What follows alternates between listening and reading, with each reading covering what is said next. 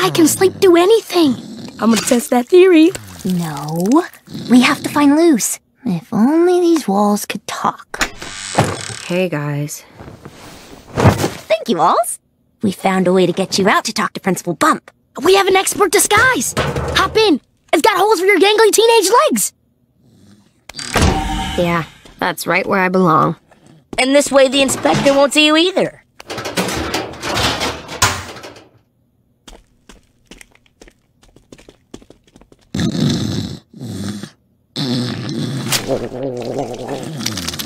Incredible.